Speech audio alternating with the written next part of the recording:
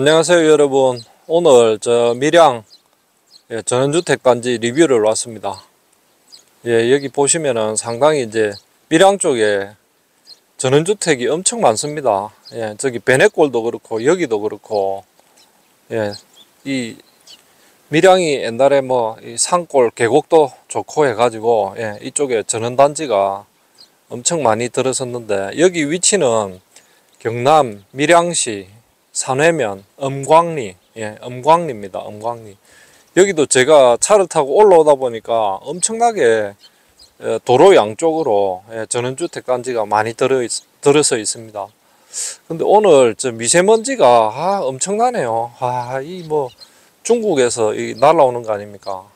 심지어는 요새 뭐 흑산도에도 미세먼지가 예, 중국에서 와서 가득 차다고 하던데 제가 한 몇 년 전에 중국 출장을 한번 간 적이 있습니다. 거기에 가니까 그 상해 쪽인데 거기에 공해를 배출하는 공장들은 전부 우리나라 서해안 쪽으로 바닷가 쪽으로 다 옮겨가지고 그 먼지들이 미세먼지들이 전부 우리나라로 직격탄으로 날라옵니다. 그래서 우리나라가 제일 예, 미세먼지에 가장 피해를 많이 입는 예, 그런 나라인데 이거 좀 국가적으로 해결을 해야 될 것 같은데 이게 오늘을 오늘하고 한 10일 전부터 너무 심해요. 뭐 기준치를 훨씬 초과해 가지고 이거는 뭐 지금 중국 그 시내 안쪽 상해 이쪽에는 저 북경 쪽에는 지금 측정 불가한 수치로 나온답니다. 그러니까 이 미세먼지 때문에 요새 야외에 나오기도 참 좀 찝찝합니다. 하지만은 뭐 또 리뷰는 계속 다녀야죠. 엉망리 여기는 예, 남쪽이 이렇게 트여져 있고 지금 서쪽 서쪽하고 북쪽 동쪽은 지금 산으로 이렇게 다 둘러쳐져 있습니다. 상당히 어, 위치적으로 봐서는 예, 명당자리라고 이야기를 할 수 있죠. 그래서 이제 이쪽에 전원주택들이 많이 예, 들어서 있는 것 같고 그 위치가 산 한 중턱쯤 왔습니다. 한 산을 중간쯤 올라왔습니다. 상당히 이제 이쪽 전원주택 단지 예, 마을의 위치가 높습니다. 그래서 이제 경관도 이렇게 잘 보이고 이 산이 이제 산면으로 이렇게 예, 감싸고 있습니다.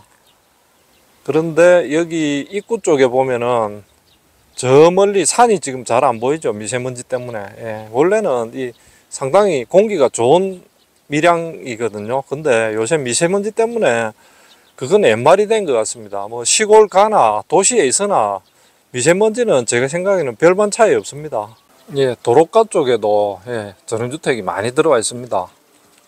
여기 보시면은 다 이제 디자인을 예, 주인장 취향대로 해가지고 다 독특한 디자인으로 했고 요 오른쪽에는 지금 예, 큰 전원주택 단지가 들어와 있는데 한번 올라가 보겠습니다. 예, 지금 여기는 황토방을 지어놨네요. 본체가 여기 하나 있고 황토방을 또 같이 이렇게 지어 놨습니다. 예, 집은 벽돌로 깨끗하게 깔끔하게 지어 놨네요. 예, 산자락 바로 밑에 예, 이렇게 집을 지어 놨습니다. 예, 이 집처럼 2층으로 해가지고 크게 지어 놨는데 금평이 1, 2층 합하면은 제 생각에 한 60평 그 정도 될 것 같습니다. 엄청나게 예, 크게 넓게 지어 놨는데 예, 조경도 잘 해놨죠. 소나무도 예, 예쁜 소나무가 있고 예, 밑에도 이쪽에는 거의 뭐 벽돌집 스타일로 이렇게 지어놨습니다. 여기 뭐 올라오는 데가 조금 까풀막진데 뭐 한 3, 40m만 올라오면 되니까 크게 뭐 차 운전하는 데는 문제는 없을 것 같습니다. 이 집도 서양 갈대로 해가지고 예, 현대식으로 모던 스타일로 해가지고 깔끔하게 이렇게 지어놨네요. 예, 정원도 보면은 정원수도 많이 심겨져 있고 어, 지금 이게 모가죠. 예, 모가나무도 있고, 저쪽 소나무도 있고, 예, 정원 관리는 아주 깨끗하게 돼 있네요. 예, 이 집도 소나무하고, 예, 짠데 정원으로 해가지고, 널찍하니, 예, 위에 바베큐 하는 그런 자리도 만들어 놨네요. 예, 정남향으로 이렇게 집을 지어놓으니까 겨울에도 이 따뜻한 네, 그런 집이 될 것 같습니다. 예, 요게 맨 윗집, 윗집이고 어, 경사도는 그렇게 높지 않아서 완만한 경사로 이렇게 쭉 올라오는 길이라서 예, 경치도 좋고 경치를 한번 볼까요?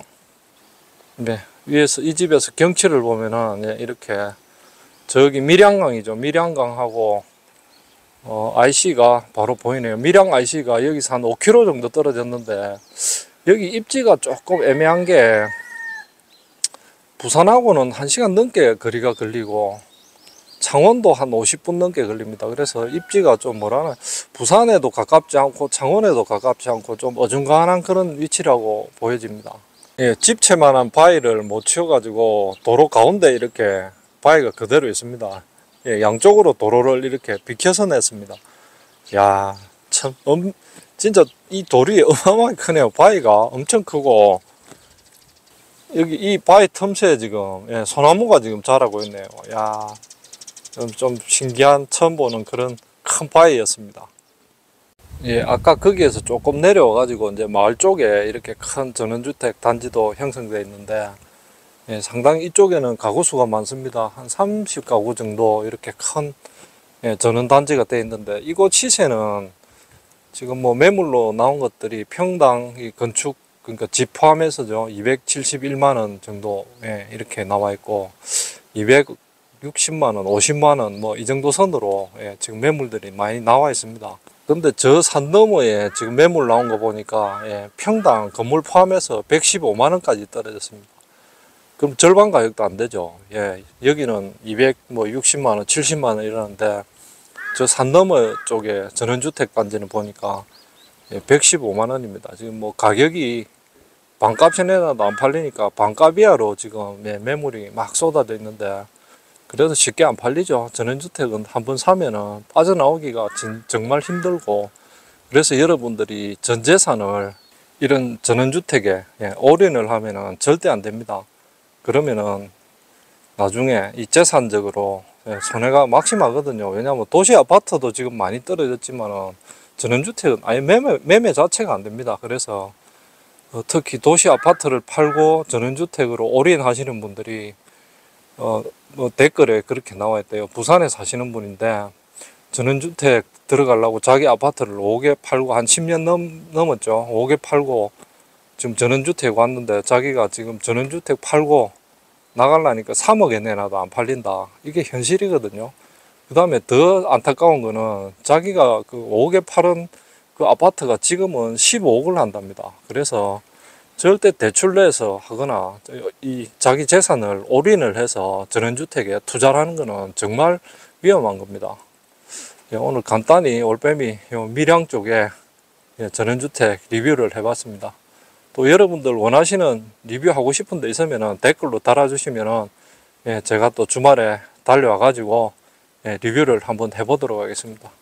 예, 시청해 주셔서 감사합니다.